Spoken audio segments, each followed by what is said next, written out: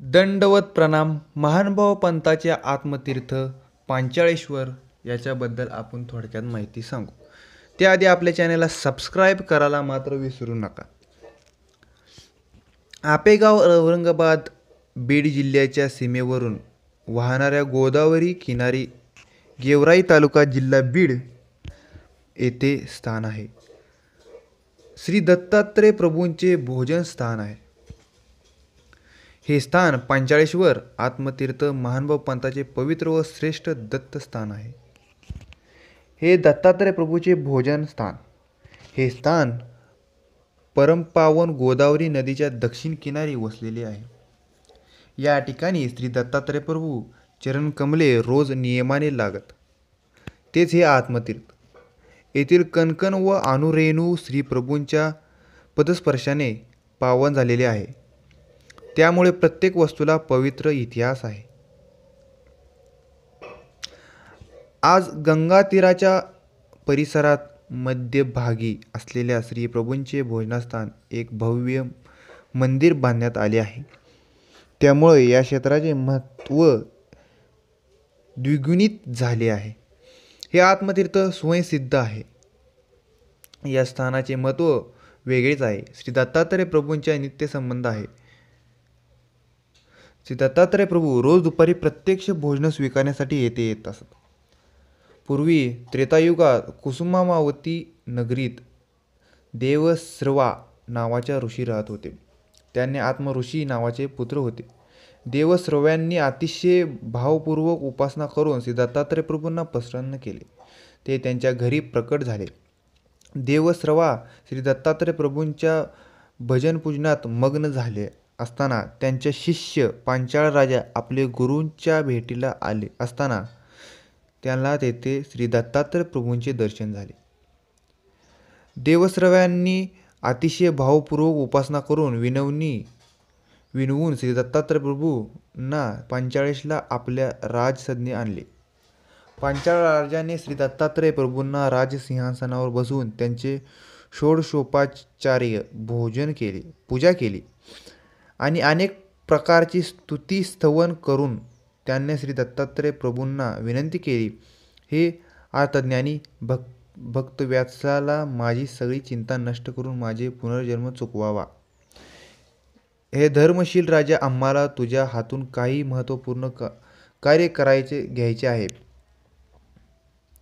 त्यानंतर मात्र आम्ही तुम्हाला चिरायू पद प्राप्त करून देऊ.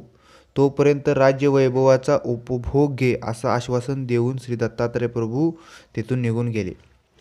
त्याच काळात फुलस्ती ऋषींच्या कुंभ आणि निकुंभ या पुत्रांनी अतिशय धुमाकूळ गाठला होता. ते कोणालाच जुमिनासे झाले. राजांचा पराभव करून ते नगरीच्या नगरे अध्यस्त करीत होते. ऋषीमुनींचे तर ते जणू कर्दन काळच होता. तेव्हा अंबाननगरीत वास्तव्यास असलेल्या देवस्रवपुत्र आत्मऋषीला कुंभ निकुंभाचे हे दृश्य कृत्य पाहून फार राग आला. ते पांचाळेश्वरास जाऊन गाराण्य करीत पांचाळ राजाला म्हणाले हे प्रतापसूर्य तरी तू या राक्षस बंधूंचा समाचार घे. पांचाळ राजास आत्म ऋषींच्या निवेदनानुसार आणि दत्तात्रय प्रभूंच्या आदेशानुसार कुंभ निकुंभशी घनोघत युद्ध करून त्यांना ठार मारले.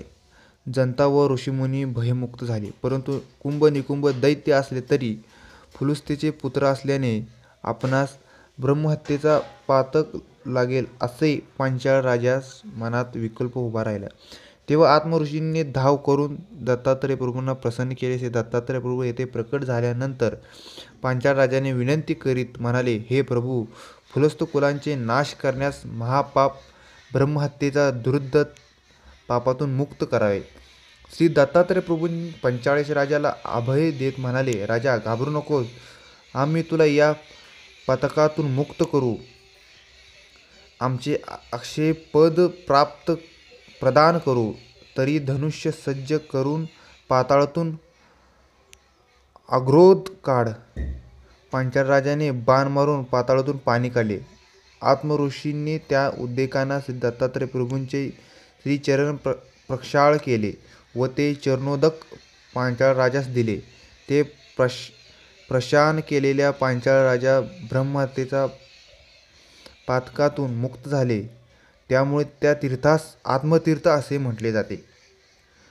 पांचाळ राजाला पापमुक्त करून श्री दत्तात्रय प्रभू प्रयाण करणारे तितक्यात आत्मऋषींनी श्री दत्तात्रय प्रभूचे श्रीचरणाकमल घट्ट धरून विनंती केली देवा देवाधिदेव ध्यासागरा आपण रोज दुपारी भोजन करावं भोजन आपण यावं आत्मतीर्थावर येऊन स्वीकारावे. माझ्या लेकराचे एवढे लाळ पूर्वावावाजी श्री दत्तात्रय प्रभू प्रसन्न पूर्विक तथास्तु म्हणून निघून गेले. आत्मऋषींच्या विनंतीला मान देऊन श्री दत्तात्रय प्रभू तेव्हापासून आजगत रोज भोजनासाठी आत्मतीर्थात येत असतात. त्यामुळे त्यांचे नित्यसंबंध ते स्थान विशेष वंदन झाले आहे.